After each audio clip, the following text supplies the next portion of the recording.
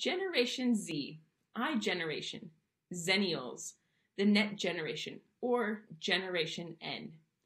If you have not yet heard of this group of students, one that goes by many different names in the scholarship of teaching and learning, you are not alone. Generation Z, or Gen Z, as we will refer to them in this paper, is the cohort of people born between 1995 and 2010. A generation that was born after the creation and popularization of computers and the internet. According to Seemiller and Grace, this generation makes up a third of the US population as of 2020. They are the most racially diverse and technologically savvy generation to date, with a strong work ethic, resiliency, and a sense of responsibility. As educators, it is important for us to acknowledge that Gen Z, the students who are now enrolled in our undergraduate classes, have their own learning preferences and that previous techniques may not work for this generation. While critics might argue that it's not the job of university instructors to cater to the demand for more engaging instructional methods, but rather to help students grow out of it, we believe that embracing Gen Z learning preferences will not only create a more efficient learning environment, but also prepare students for an ever evolving workforce. As Viertog and Berger argue, quote, rather than dismissing the Gen Z's reluctance for the lecture as a means for education, it's worthwhile to consider what these multitasking, graphically oriented students are requesting. They want to have a say in their education, contribute toward the discussion of how they will learn, participate in hands-on activities, and collaborate with their colleagues. Because many traditional teaching methodologies, such as lectures, are no longer adequate for Gen Z learners, innovative learning activities must be incorporated into courses. Students' learning time and attention are both limited, so instructors must focus on providing an engaging and goal-oriented approach. A focus on gamifying learning activities increases engagement, relevance, immersion, and assists with the transfer of learning to real-world situations. Seemiller and Grace posit that Gen Z students are often motivated by rewards such as an opportunity for advancement or earning credit, rather than a prize or tangible gift.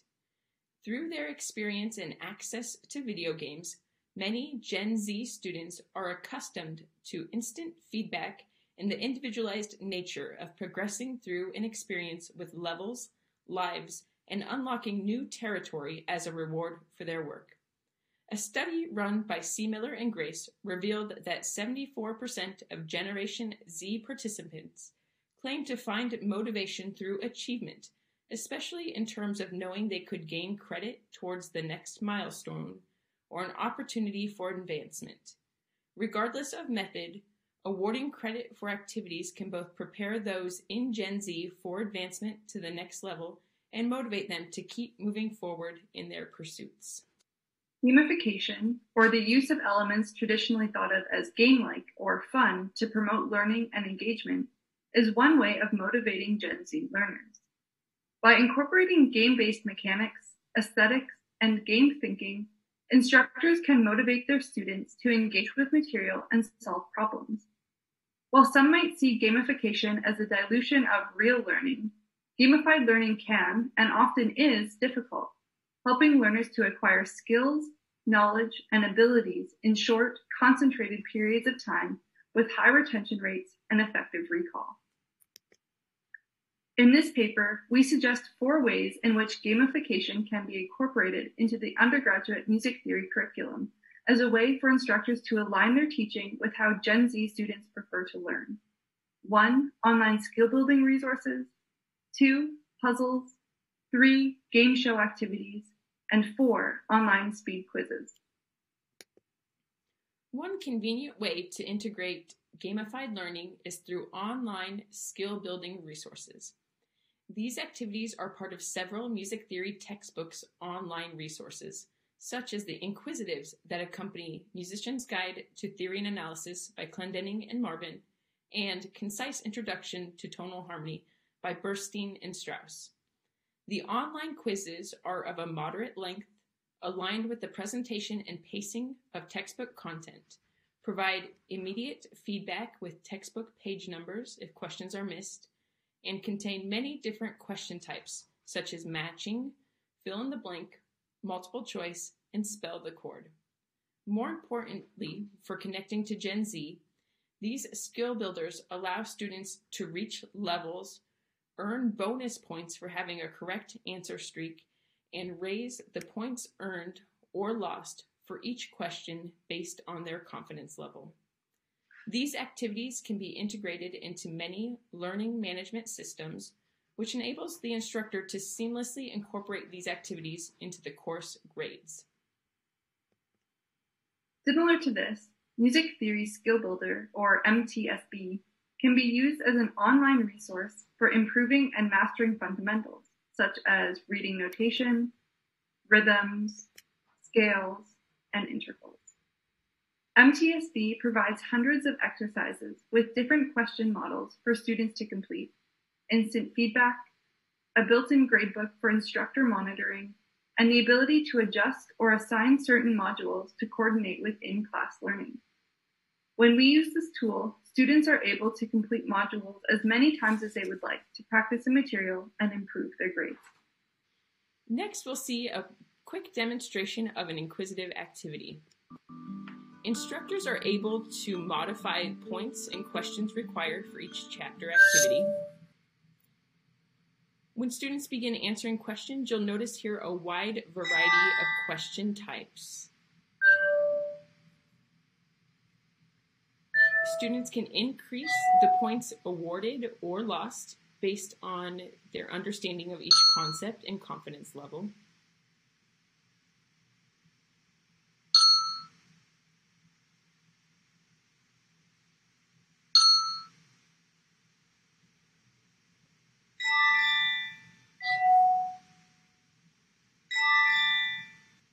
Now, when students get on an answer streak where they have several answers correct in a row, they'll be awarded bonus points, which help them level up faster.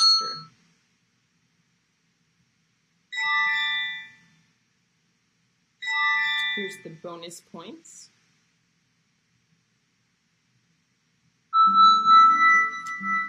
And once they reach a level, they can't go back below that level. So they've already secured that high of a grade. They can decrease the points wagered if they're not sure of an answer. And then if they answer incorrectly, this link on the website will take them straight to the book and they can find the answer on that page. Puzzles are another way that students can get some hands-on practice in understanding abstract concepts, especially form. When utilizing puzzle activities in the classroom, we first introduce the concept through a partially flipped model approach. The students read about the concept from their textbook, watch a 10-minute lecture video that covers the most important concepts, and take a low-stakes online reading check. Following this outside of class time introduction, we jump directly into the hands-on puzzle activities in the classroom. The activity that follows is a normative sonata-form puzzle. For this type of activity, we provided students with puzzle pieces, each with a component part of sonata form written on it. For example, exposition, first tonal area, transition. The note cards utilized are of different colors for different levels of analysis. One color for the large overall structure, one color for the smaller components of each group, one color for the normal major key centers, and one color for the minor key centers. Students worked in groups to put together the puzzles to create a diagram to demonstrate an understanding of sonata form. These puzzles show that students understand what concepts make up a form and what smaller units comprise larger forms. In the video demonstration, you will see that the students discuss the concepts with each other and thus are able to clarify any questions they have following the outside of class introduction to the concept. By having students work in groups, they are able to get feedback from their colleagues, and this alleviates their fear of asking clarifying questions in front of the entire class. First thing we have is a Is the repeat repeat side, side. repeat side, yeah. So no Well, good you for can go back here too. Kind of like a- we can add these. I think we should also start by putting like the major sections Yeah. of uh, exposition. Oops, sorry. That's, all I'll good. do that first, then development.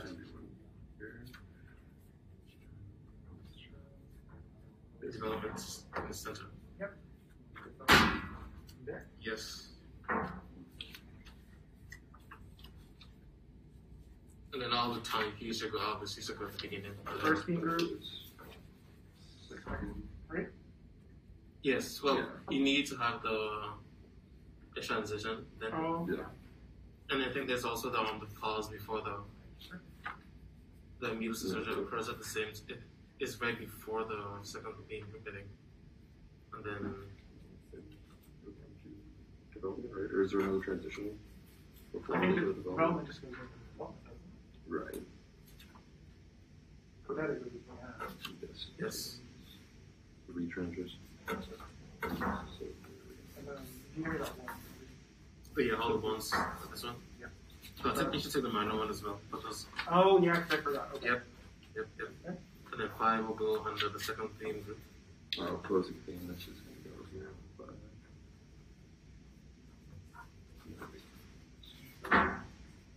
Retrans, or, Yeah, this will go under the re- recap recapitulation, so that goes there.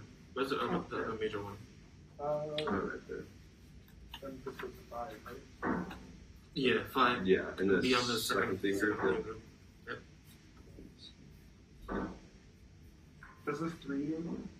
Yeah, that'll be that'll be like The the minor one. yeah the, uh, for minor. So you Yeah. have five these. Okay. And then this And is this be. this is for the retransition. Yep. Yeah, the five of the tonic. Oh, yeah. And, um, This looks about right. This, yeah. Should we put the this these parts above so it's more? I guess it must be more. yeah, it's, since it's like a um like a higher like grouping maybe. In addition to sonata form, we have used puzzle activities for students to practice with a variety of music theory topics. One of these categories includes chords and Roman numerals. For chords, students work in groups to spell varieties of triad and seventh chord qualities using pitches written on note cards. Following this puzzle activity, our students then go to writing these chords on whiteboards. For Roman numeral puzzle practice, students are supplied with note cards that have a variety of chords written, such as major 2, minor 2, and diminished 2. Students are then asked to work together to create the pattern for the Roman numeral qualities for major and minor keys. We have also used puzzles for small scale forms, including sentences and periods. We provide students with a note card with a fragment of a small form written on it. For example, basic idea, antecedent, continuation. These puzzles enable students to not only understand what components make up a form as a whole, such as a continuation belonging in a sentence but not in a period, but also what smaller units make up larger ones. A basic idea and its repetition make up a presentation, for example. Similar to our sonata form activity, we have used these puzzles for students to approach other large scale forms, including binary, ternary, multi level phrase models, and large forms such as sonata, rondo, concerto, and sonata rondo. Additionally, instructors can gamify activities in the classroom to provide a refreshed perspective on traditional content. Some tried and true methods include using game show models such as Family Feud or Jeopardy for content review days. Early in each unit, we have science fair days. These days occur during the first class meeting after new content is introduced. Students are assigned as a small group a topic they will talk about to the class, and they must create an experiment, in this case a musical example, to demonstrate the concept. This type of review helps students synthesize what they learned in a reading or lecture video, and the group setting allows students to get more clarification by asking questions of their group members and having to put into action what they have learned. The science fair works best by placing time parameters on both the preparation time and demonstration of the concept. For a form and analysis activity, we built a new take on escape rooms with vocal forms.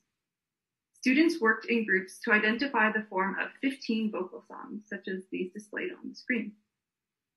The scores to these 15 songs were printed, numbered, and displayed in the front of the room on tables. Each group was able to retrieve one song score at a time, and they could complete them in any order. After looking at the pieces, students buzzed in using sounds on their phones, and then they described the form that they assigned to the piece and the reasoning in support of the form to the instructor before moving on to the next piece. The gamified goal was to finish before time expired and beat the other groups. Following this activity, we discussed with the students what elements and characteristics aided them in identifying the form before moving on to a deeper analysis of songs.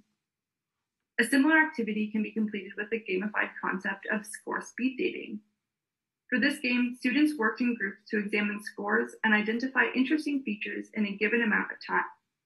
After the time expired, students com- commented on something interesting or notable they found in each score, such as the second, uh, the type of second inversion chord used, phrase structure, form, chromaticism, rhythm, and even 20th century techniques. The malleable nature of this activity allows it to be used in different units and enables the instructor to direct the student's attention to identify topics that are relevant to particular learning objectives. We have also had success bringing Kahoot into theory courses for the review of concepts.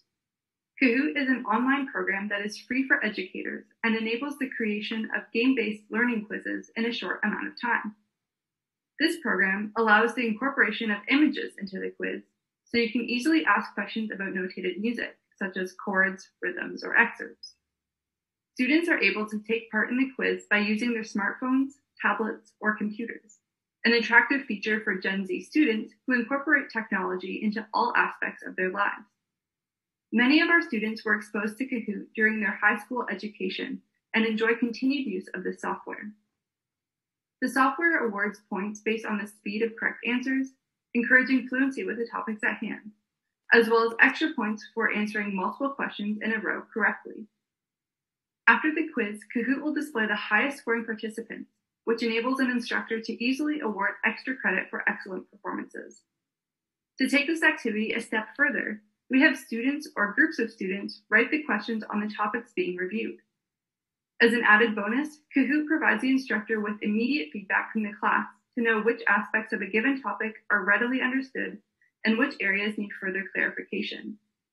Additionally, instructors can access the game data later on to, under, uh, to know how each student answered particular questions, which questions were the most difficult, and a calculated average for each student in order to identify those who are struggling most.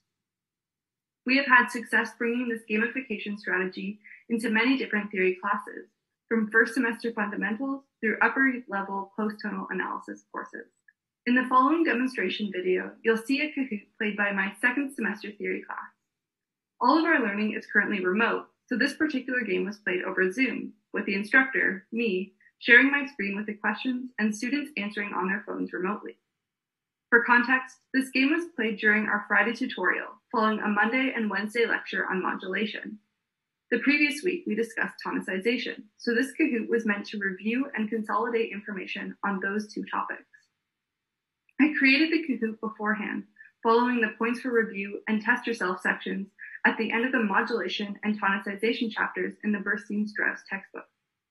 Personally, I like to play Kahoot at the beginning of our Friday tutorials to refresh what was covered in that week's lectures and to provide me and the students with insight on what material is already understood and what needs to be covered more thoroughly during our tutorial.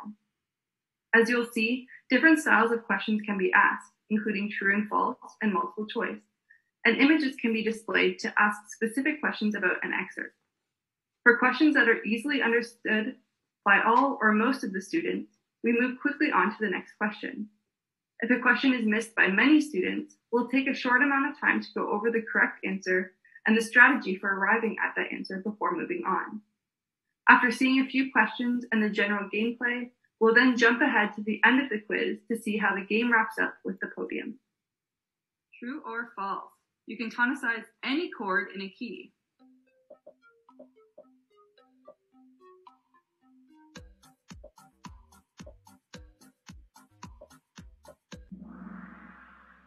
Ooh, yeah, this one is false. Remember, you can't tonicize a diminished chord. So we can never tonicize a seven diminished, and in minor we can't tonicize two either, because that's also diminished. All right. Oh yeah, Hubert's taking the lead here. Got a good solid start. That's good. All right.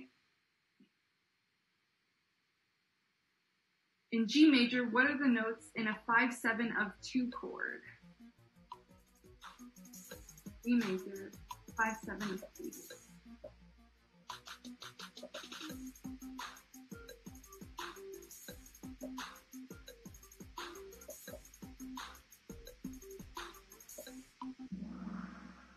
Nice. E, G sharp, B, D.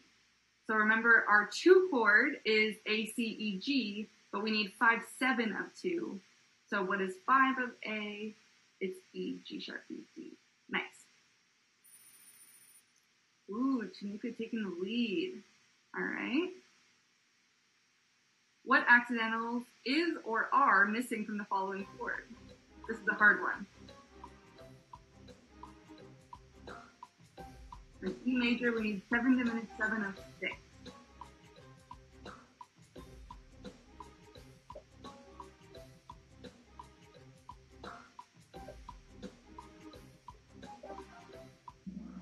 Ooh, ran out of time on that one. Yeah, we need B sharp. Remember, we're in E major. We are in E major. We are tonicizing six, which is C sharp. And we need to raise B so that it's B sharp to be the leading tone. Weird, but that's what we need. All right, nice. Nobody got any points on that one. Sad. That was my great job. Let's see how we finished up here. In third place, Anna. Nicely done. Second place, Tanuka. And our winner of tonicization and modulation. Nice. As Generation Z is growing older and entering college and the workforce, the use of gamification is becoming more widespread as a way of motivating this cohort and improving their learning. Recent research on gamification, as outlined by Kapp, shows that not only are instructional games effective for a variety of learners, but they also promote various levels of thinking, from recalling basic terms to more higher order thinking. They can be scaffolded to increase difficulty throughout the semester, and various alternations can be made to engage and appropriately challenge all students, from those who are struggling with the content to those who are excelling. The activities we presented throughout this paper allow instructors to gamify various aspects of their courses, from homework and out of class learning to engaging in class activities. While some of these gamified options, such as the online skill builders, allow students to work through content at their own pace, others, such as the escape room and puzzles, allow students to collaboratively work together with their peers. The added dimension of competition either with oneself by increasing the confidence levels on InQuizitives or with other classmates on Kahoot, increases student motivation to build fluency and accuracy with the concept at hand. By gamifying music theory, we are giving our students the opportunity to learn in ways that are most effective for them through hands-on, engaging, self-paced, collaborative, and competitive activities. By gamifying our own curricula, we have noticed increased levels of engagement, relevance, immersion, retention, and transfer of learning to real world situations. Online skill building resources, puzzles, game show activities, and online speed quizzes are just four sample ways that instructors can incorporate this strategy into their music theory curriculum to foster engagement, motivation, and accelerate learning for this new generation of college students.